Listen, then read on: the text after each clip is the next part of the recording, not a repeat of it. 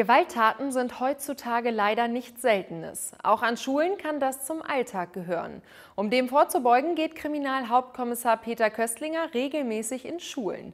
Bei ihm lernen die Schüler in vier Stunden, wie sie gar nicht erst zu Opfern werden. Na, so schön und so alleine. Was liest denn da? Hallo?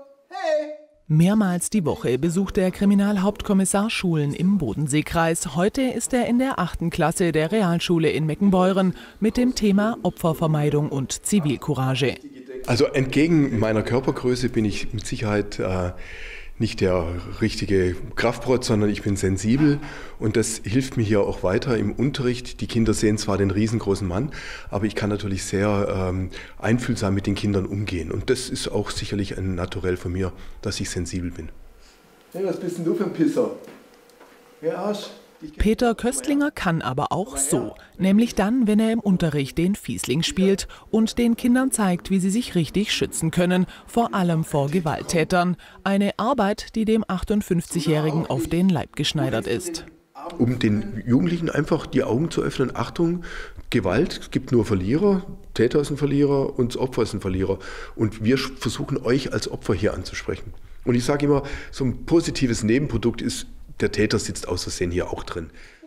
Mit interaktiven Rollenspielen, authentischen Beispielen, Humor, aber auch Ernsthaftigkeit beweist er den Schülern, wie einfach sie es dem Täter machen und wie sie künftig präventiv dagegen vorgehen können. Steh auf! Hören Sie jetzt auf! Richtig draufhauen! Hören Sie jetzt auf! Perfekt, und jetzt kannst du dir Hilfe holen. Hey, Sie da, helfen Sie mir! Ich werde hier bedrängt! Der erfahrene Kriminalhauptkommissar macht den Jugendlichen sehr authentisch deutlich, was sie in einem solchen Fall zu tun haben. Für Rektorin Ulrike Wiedmann ein Muss an der Schule.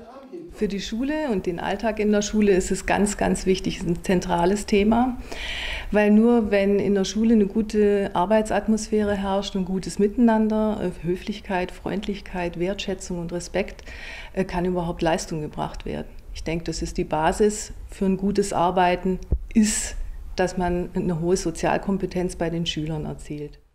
Für die richtige Motivation ist natürlich gesorgt. Machen die Schüler gut mit, bekommen sie sogar ein kleines Geschenk von Peter Köstlinger. Die Jugendlichen sind begeistert und nehmen viel mit. Ähm, dass wir besser auf der Straße aufpassen sollen. Dass ich weiß, auf was ich achten soll, wenn ich so einen Typ sehe und dass ich den am besten ignorieren sollte. Dass man halt mehr aufpassen soll auf der Straße und halt vorsichtig sein soll.